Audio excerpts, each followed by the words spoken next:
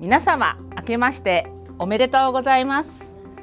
2022年、えー、寅年ということでさまざまなことにトライする皆様を我々もいろんなことにトライしながらサポートしていきたいと思います。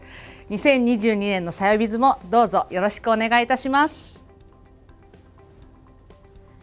はい、それでは、えー、新年一発目の、えー、ゲストをお呼びしたいと思います、えー、株式会社タオコーポレーション代表取締役の村田理恵様です。よろしくお願いいたします。よろしくお願いいたします、えー、株式会社タオコーポレーションの村田でございます、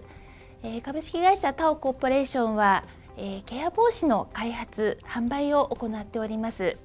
えー、ケア帽子とは申しましても多数のあの帽子が出回ってるかと思うんですが私があの目指した帽子というのがスーツに似合う帽子を目指して開発をいたしました。はい、あの今日もいくつかお持ちしておりますのでぜひご覧いただきたいなというふうに思っております。お会社自体は、えー、昨年の5月に立ち上げられたということで、はい、ね。はい、あのお帽子を作る過程や創業の過程でもサービスをご愛用いただいてたと思うんですけれどももともとそのあのササービスをごごご利用になったきっかけみたいなところというのはどういうところだったんですか、はい、素晴らしいあの取り組みが狭山にもできたなというふうには感じていて、なかなかでもあの実際に自分が利用する機会というのは、あのなかなかその機会に恵まれては来なかったんですけれど、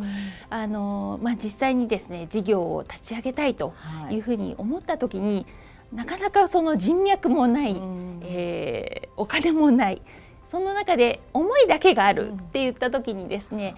まず駆け込み寺のように 伺った先があのさやびずさんだったというところです、ね、なるほど、ありがとうございます。はい、駆け込んでいただいたね。はい、そうですね。はい。あの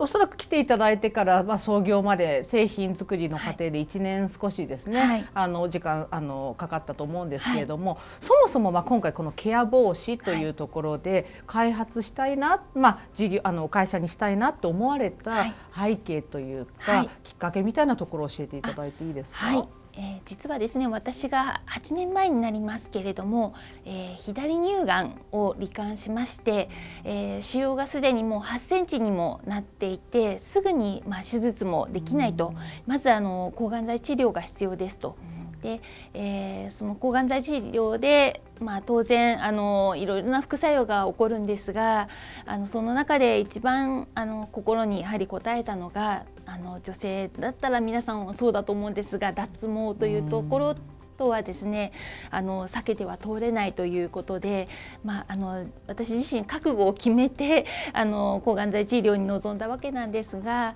やはりあの当時、まあ、あの証券会社に勤めておりまして仕事は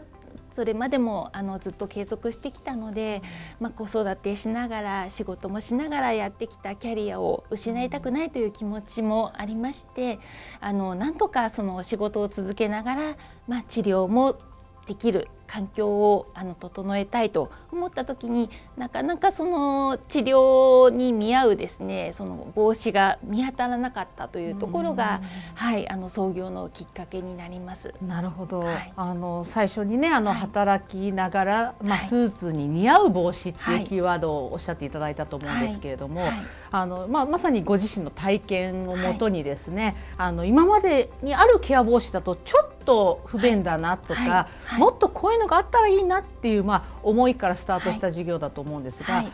一番特徴的なところがですね、えー、こちらの商品なんですが、えー、頭頂部が開口しておりまして筒のような形を本当だ、はい、本当ですね。抜けてるんですね。はい。なので非常に通気性があの優れている商品になっているんですが実際にかぶっていただきますと、うんうん、こちらのちょっとマネキンの後ろを見ていただくと分かるんですが、はい、少し長めにあの、うん、はいあのマッチを取っておりますので、え後ろから見てもですね脱毛していることは全くわからないように、ね、開いてるって言われないと分からないですね。はい、開いてることには全くあの気つかないというようなデザインで、なおかつ、まあ、あの非常に、えー、柔らかい素材でもできているので、まあ、あの素肌に、まあ、直接触れてもチクチクしない素材で、かつ通気性も優れているので、まあ、長時間お仕事ですとあのかぶっている時間がありますのでその時間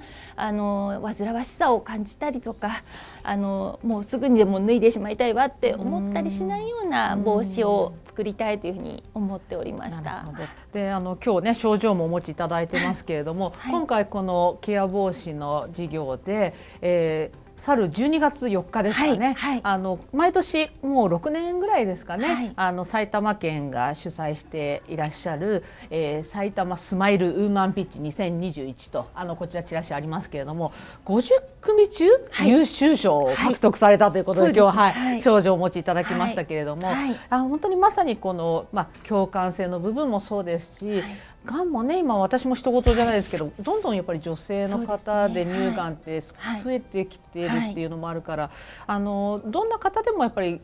自分事として捉えられるビジネスっていうのがなんか評価されたのかななんて個人的には思ったんですけれども、審査員の方とかからどんなお声いただきましたそうですね。やはりあの社会性のあの非常にあの意義のある、はいあのまあ、事業であるというところを高く評価いただいたというところと、あとはあのこれからですねあの帽子だけではなくてあのこの帽子を通じて、まあ、広くですねその働きながら治療も続けるという、うん、その両立していくような社会というものを、はい、はい、皆さんにそれがもう本当に当たり前の社会になるようにという、まあ、その辺のお話をですね、えー、私もあのいろいろな場所で登壇させていただきながら、うん、はい、少しずつ広めていけたらいいなというふうには思っています。はい、はい、まさにね村田さん自身の思いと経験と、はい、そしてお仕事の内容も含めててあのこれまでの体験をあの集約したような、はい、あの商品になっていると思いますので、はい、ぜひ多くの方に手に取っていただきたいですね。はい、あの真の顧客志向っていうキーワードで今年1回目書かせていただきました。あのまあ、がんのねあの罹患によってまああの脱毛をしてしまった方向けっていうとどうしてもその社会性の部分っていうのが注目されます。であのそれはもうもちろん社会性が強い授業であることは間違いないと思うんですけれどももう一つやっぱり今回の村田さんの授業の素晴らしいところっていうのはご本人が、まあ、当事者であり、まあ、ある意味お客様の心を誰よりも分かっているからこそ生み出された商品なのかなというふうに感じています。あの企業の皆様新しくサービスをね考えるときにあの必ずお客さんが何を望んでるるかをリサーチしましょうってこう一般論では言われますけれども本当の意味で何に困っていてどういうものを求めてるかっていう声を拾ってらっしゃる企業様って数少ないなというふうに私自身もサイビズでお話を伺っていて思います。こういった形の本当の真の顧客志向で出来上がった商品あの間違いなくあの当事者の方であればあのお喜びいただける製品になっていると思いますのであの多くの方にぜひおと手に取ってですねお取りあのお試しいただければなというふうに思います。サイビズでもですねますますあの多くの方に村田さんの授業があのご注目いただけるようにですね、はい、これからも全力でサポートをできればというふうに思っています。はい、今日ご覧になっている視聴者の方にメッセージをお願いいたします。はい、えー、今日はあの皆様ご覧いただきましてありがとうございました。はい、あの私自身あの本当にこの8年まあ、えー、毎日こう笑顔であのまあ暮らしていたかというと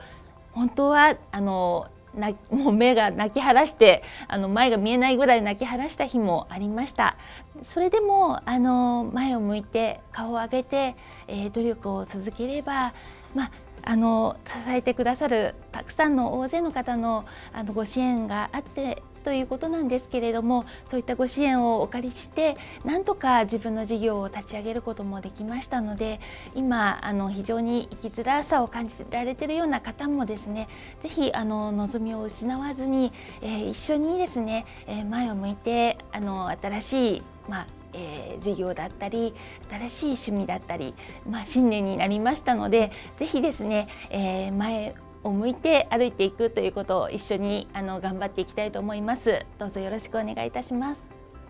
ありがとうございます。本当にあの新年にふさわしい前向きなメッセージをいただきました。はい、私もちょっと今年一年また頑張らなきゃなと思ってですね、はい、はい、背筋が伸びる思いがいたしました。はい、本日のゲスト株式会社タオコーポレーション代表取締役の村田理恵さんでした。村田さん本当にありがとうございました。